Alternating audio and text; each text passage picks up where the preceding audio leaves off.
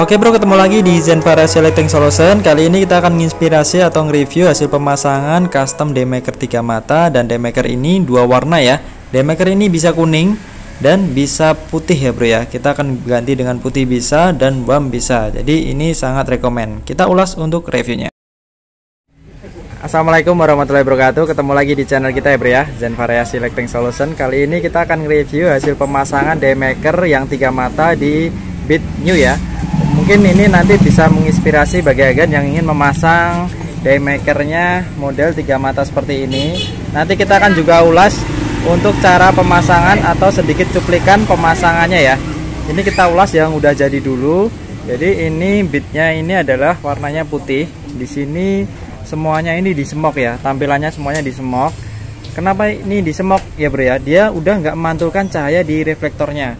Jadi dia udah pakai lensa di depannya ini untuk jenis daymaker tiga mata ini. Mungkin bagi agan yang udah pakai led pakai lampu tembak custom tiga mata daymaker seperti ini seterang apa cahayanya nanti bisa agan kasih komentar di kolom komentar di bawah agar temannya juga tahu seberapa terang dari demaker tiga mata ini ya bro ya. Ini kita pakai demaker tiga mata ini karena pakai ini ada dua fungsi yaitu tampilannya dia dapat ya bro ya. Dan untuk sinarnya juga dapat ini kita pakainya yang dua sinar warnanya. Jadi bisa putih dan bisa kuning. Kita akan coba lihat untuk nyalain seperti apa. Dia ada senjanya warna biru. Di sini senjanya kita pakai warna kuning juga. Dan di sini alisnya juga pakai warna ungu bro. Kita coba tes untuk nyalanya. Coba kontak on. Nah seperti ini. Jadi dia serasi ya. Tampilannya dia di sini ada senja alis seperti ini. Dia ke atas dan melengkung ke bawah seperti ini bro seperti itu dan ini angel S nya dia warna biru. Dan untuk sennya sendiri ini pakai blue S yang jenis T10 super brick seperti ini modelnya. Dan ini cukup terang ya walaupun ini udah di smoke seperti ini.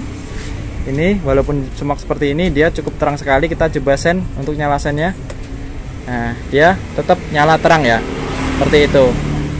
Dan jika dia zat dia juga terang. Nah seperti ini ya terang ya untuk sennya sendiri ya coba dimatikan dulu. Dan untuk ini lampunya ini ada dua sinar yaitu pertama dia sinarnya bisa putih.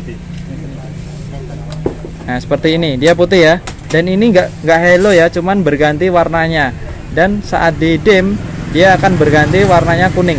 Nah seperti ini dia kuning ya berubah menjadi kuning. Kita simak untuk cahaya di malam hari saat kita pakai demaker ini. Kita akan ulas untuk cahayanya Oke kita akan coba tes untuk cahayanya. Ini yang tipe bisa kuning. Ini ada dua led ya. Ini ada chip lednya yang kuning dan sebelahnya ada putih. Jadi bisa dua warna. Saat hujan atau saat nggak hujan akan bisa putih ataupun bisa kuning.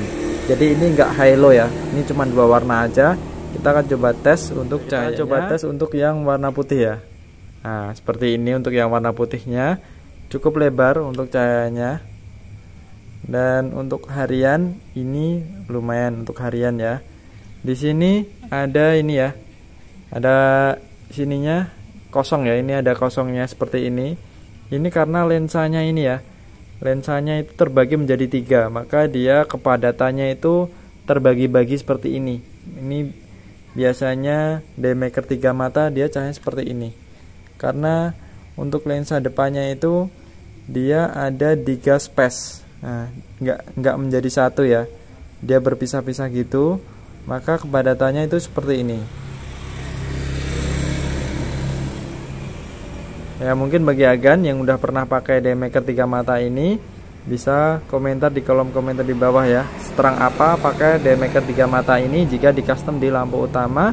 Kita akan coba rubah untuk warnanya yang kuning. Jadi kabel kuning ini ini untuk mengubah yaitu cahaya kuning. Nah seperti ini. Dia akan kuning ya. Nah, kuningnya cukup pekat. Nah, kuningnya cukup pekat. Tadi saat warna putih ini ya kosongnya ini ada di sebelah kiri. Dan sekarang jika warna putih ini space kosongnya cahaya ada di sebelah kiri. Seperti ini. Tapi lebarnya cukup lebar banget. Dan ini tetap garis cut off ya makanya kita custom di lampu utama ini enggak silo ke depannya nah, ada ini kelebihannya ada garis katop seperti ini. Jadi untuk custom lampu utama dia rekomend kita coba lagi untuk yang mana putihnya seperti ini. Dia kosongnya ada sebelah kiri. Seperti ini ya. Jika kabelnya yang warna merah ini digabung dengan warna kuning ini maka cahayanya dia akan bam ya. Putih semu kuning nah ini. Ini putih semu kuning seperti ini. Tapi jika pakai saklar on off on dia bisa kuning sen putih sendiri. Ini off ke kuning.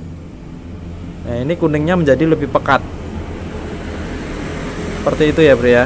Kalau dicampur dengan putih dia akan bam. Nah ini dicampur dengan putih. Cahayanya putih semu kuning seperti ini. Jadi selera agan aja dan jika dipisah dia akan kuning seperti ini. Kuningnya pekat cuman ada noise di sini.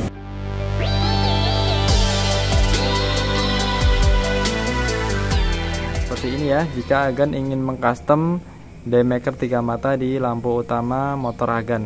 Jadi tampilannya dia dapat untuk cahaya sendiri dia seperti ini. Ketebalannya ketebalan dari cahaya cuman biasa aja ya nggak tebal banget.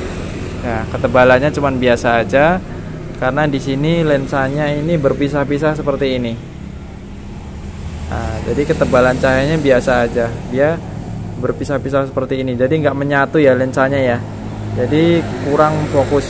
Jadi untuk sinarnya jadi untuk ketebalannya itu standar aja ya. Tapi udah lumayan juga dan tampilannya itu dapat kalau pakai ini karena dia ada Angel S nya ada lampu Angel S maka itu menjadi tampilan motor agan lebih bagus. Tapi kalau Agan ingin mencari lampu utamanya itu lebih tebal lagi Agan bisa pakai RTD M10X udah kita pernah ulas di konten kita ini untuk cara pemasangannya juga.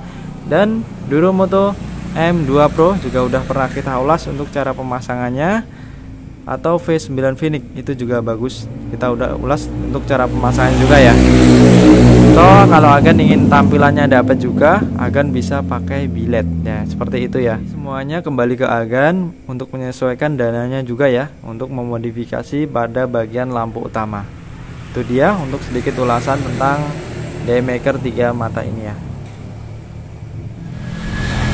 Seperti itu untuk cahayanya untuk jenis daymaker yang dua mata ini. Udah lumayan ya bro ya. Untuk harian ini udah cukup lumayan bro. Dan ini kita pakai mata alang di sini ya untuk sebagai tambahan lampu senjanya seperti itu. Karena di sini lampu senjanya sendiri kalau bit ini adalah di tengah sini ya. Jika akan pakai mata alang ini cukup terang kanan kiri seperti ini. Tampilannya juga lebih bagus. Ya seperti itu ya. Untuk matikan senjanya matikan lampu utama. Nah, seperti ini. Jadi tampilan senjanya seperti ini. Jadi dua tampilan cahaya dapat dan tampilan untuk tampilan untuk harian itu dapat ya. Oke, itu dia sedikit ulasan tentang modifikasi di Bit New ini pakai Daymaker 3 mata. Cukup sekian video kali ini dan semoga bermanfaat. Wassalamualaikum warahmatullahi wabarakatuh. Terima kasih, Bro.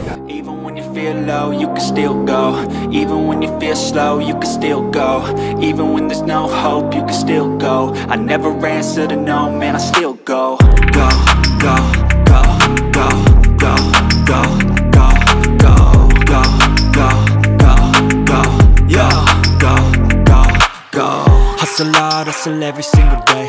I'll be making moves till I'm buried in my grave. To the system, I don't wanna be a slave. I've been doing shit my way, uh, or the highway. And in the driveway is a nice range. Cause I grind through the climb, I invite pain. You'll never hear me, bitch, nah, I don't complain. Just gotta flip the switch and you can go and obtain Anything you want, anything you need. Your mind's got the key ingredient, it's belief. uh, They deceive with the negativity. But I just slide right by that energy. Uh, Even when you feel low, you can still go. Even when you feel slow, you can still go. Even when there's no hope, you can still go. I never ran, to no, man, I still go. Go, go